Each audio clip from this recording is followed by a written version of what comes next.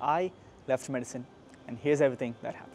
So there are two things that I want to talk about in this video. Number one being why I took the decision and number two being what's happening right now. It all started during internship where I was starting to work as a doctor. It was one of my first clinical posting and it was a super specialty posting. And when I was working with this one doctor, you know, I'm not gonna say her name. She was arguably one of the best doctors in that whole hospital. I was a young guy, enthusiastic coming to the system, the whole world of, of being a doctor to explore. So I asked her, like, how does it feel to have finally made it? Like, she's at the top of this mountain, right? And she casually decided to change the trajectory of my life.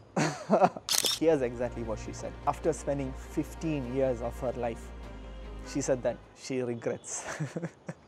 Caveat, she regrets not having time for her family. And it was at that moment everything changed. I was like, wait a second, you know, I need to test this out. To be honest, I could not believe it. I could not believe it. I didn't believe her, right? Of course, I took her word for it, but I was still skeptical. So for the next 12 months of internship, what I used to do was go to every department, like my posting, and used to talk to the doctors. I didn't ask them like what procedure this was. I didn't ask them how do I do this, how do I do that. None of it. The most important question that I asked them was how's life? How's it going? Uh, good? I was curious. Like that's all I wanted to know. Maybe I am crazy. Maybe I am such a pussy. Maybe I'm scared. I don't know. But I asked them. I wanted to know. Is it worth it? I got a lot of answers. I got a lot of different perspectives. An overwhelming majority of, of answers were I just did this because everyone was doing this. There was no answer where they said that, you know what, I am proud. I am excited.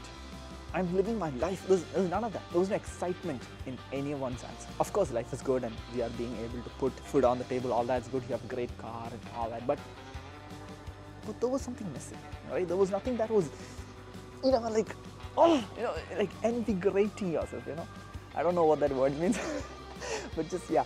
Um, and after 12 months of going through the whole shebang of internship, I realized that this is not exactly what I want.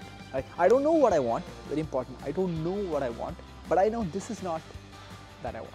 But then you ask me like, okay, well, what do you want? I don't know. I don't know. I don't know. So that was essentially my thought process and, and I understood that there is no rush. I can take a break and I should take a break because I need to go answer the other question which is what do I want?